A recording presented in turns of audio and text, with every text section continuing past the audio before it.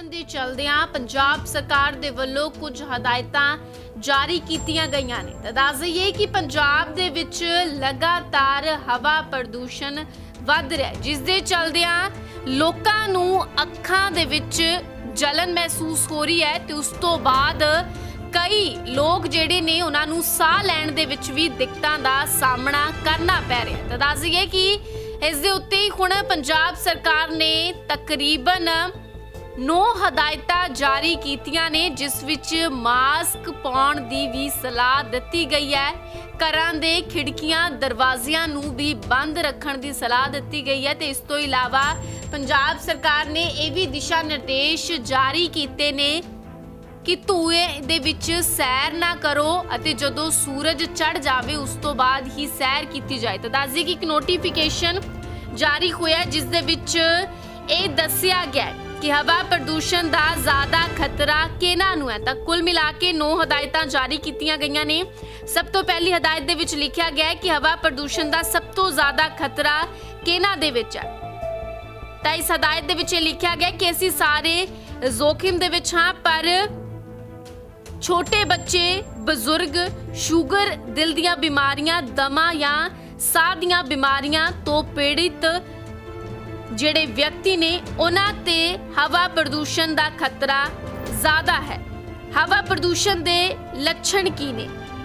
ਦੱਸ ਦਈਏ ਕਿ ਸਾਹ ਚੜਨਾ ਬੁਖਾਰ ਤੇ ਉਸ ਤੋਂ ਇਲਾਵਾ ਅੱਖਾਂ ਦੇ ਵਿੱਚ ਜਲਨ ਮਹਿਸੂਸ ਕਰਨਾ ਵੱਧ ਰਹੇ ਹਵਾ ਪ੍ਰਦੂਸ਼ਣ ਦੇ ਲੱਛਣ ਨੇ। ਹਵਾ ਪ੍ਰਦੂਸ਼ਣ ਤੁਹਾਡੀ ਉਮਰ ਨੂੰ ਘਟਾ ਸਕਦਾ ਹੈ ਅਤੇ ਜੀਵਨ ਦੀ ਗੁਣਵੱਤਾ ਤੇ ਮਾੜਾ ਅਸਰ ਵੀ ਪਾ ਸਕਦਾ ਹੈ। ਇਸ ਦੇ ਲਈ ਚੌਥੀ ਨੰਬਰ ਹਦਾਇਤ ਦੇ ਵਿੱਚ ਲਿਖਿਆ ਗਿਆ ਕਿ ਤੁਸੀਂ ਕਿਹੜੇ ਇਲਾਜ ਕਰ ਸਕਦੇ ਹੋ? ਆਪਣੇ ਆਪ ਨੂੰ ਬਚਾਉਣ ਦੇ ਲਈ ਬਾਹਰੀ ਗਤੀਵਿਧੀਆਂ ਤੋਂ ਬਚਾ ਰੱਖੋ। ਜੇਕਰ ਕੋਈ ਜ਼ਰੂਰੀ ਕੰਮ ਹੋਵੇ, ਫਿਰ ਹੀ ਘਰਾਂ ਤੋਂ ਬਾਹਰ ਨਿਕਲੋ, ਨਹੀਂ ਤਾਂ ਘਰਾਂ ਦੇ ਅੰਦਰ ਹੀ ਰਹੋ। ਕਿਸੇ ਸਿਹਤ ਦੇ ਮਾਹਿਰ ਤੋਂ ਸਲਾਹ ਜ਼ਰੂਰ ਲਓ। ਲੋੜ ਪੈਣ ਦੇ ਉੱਤੇ ਦਵਾਈਆਂ ਦੀ ਵੀ ਵਰਤੋਂ ਕਰੋ। ਜੇਕਰ ਤੁਹਾਨੂੰ ਸਾਹ ਦੀ ਕੋਈ ਬਿਮਾਰੀ ਹੈ ਤਾਂ ਯੋਗ ਨੂੰ ਆਪਣੀ ਰੋਜ਼ਾਨਾ ਰੁਟੀਨ ਦੇ ਵਿੱਚ ਜ਼ਰੂਰ ਸ਼ਾਮਿਲ ਕਰੋ। ਪੰਜਵੀਂ ਨੰਬਰ ਹਦਾਇਤ ਦੇ ਵਿੱਚ ਲਿਖਿਆ ਗਿਆ ਹੈ ਕਿ ਪੀੜ ਭੜੱਕੇ ਵਾਲੀਆਂ ਥਾਵਾਂ ਤੇ ਨਾ ਜਾਓ। ਧੂਏ ਦੇ ਵਿੱਚ ਸਵੇਰ ਦੀ ਸੈਰ ਨਾ ਕਰੋ।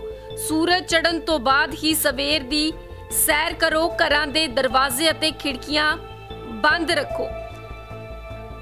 ਅਤੇ ਜੇਕਰ ਕੋਈ ਔਰਤ ਮਾਂ ਬਣਨ ਵਾਲੀ ਹੈ ਉਸ ਦੇ ਅਤੇ ਉਸ ਦੇ ਬੱਚੇ ਦੇ ਉੱਤੇ ਇਸ ਦਾ ਜ਼ਿਆਦਾ ਅਸਰ ਪੈ ਸਕਦਾ ਹੈ।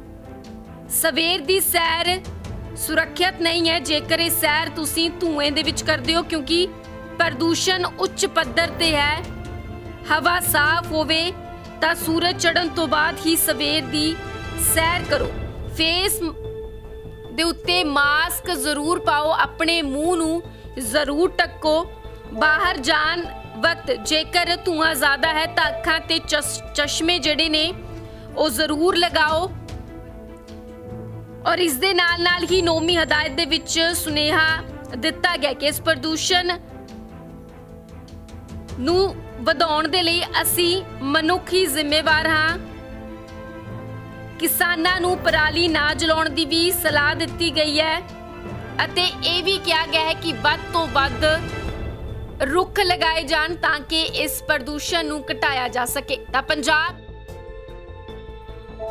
ਦੀ ਗਿਰਾਵਟ ਆਈ ਹੈ, ਜਿਸ ਤੋਂ ਬਾਅਦ ਪੰਜਾਬ ਸਰਕਾਰ ਨੇ ਇੱਕ ਨੋਟੀਫਿਕੇਸ਼ਨ ਜਾਰੀ ਕੀਤਾ ਹੈ, ਜਿਸ ਵਿੱਚ ਤਕਰੀਬਨ 9 ਹਦਾਇਤਾਂ ਦਿੱਤੀਆਂ ਗਈਆਂ ਨੇ ਕਿ ਹਵਾ ਪ੍ਰਦੂਸ਼ਣ ਦਾ ਖਤਰਾ ਕਿਹਨਾਂ ਨੂੰ ਜ਼ਿਆਦਾ ਹੈ, ਲੱਛਣ ਕੀ ਨੇ ਤੇ ਉਸ ਤੋਂ ਬਚਿਆ ਕਿਵੇਂ ਜਾ ਸਕਦਾ ਹੈ?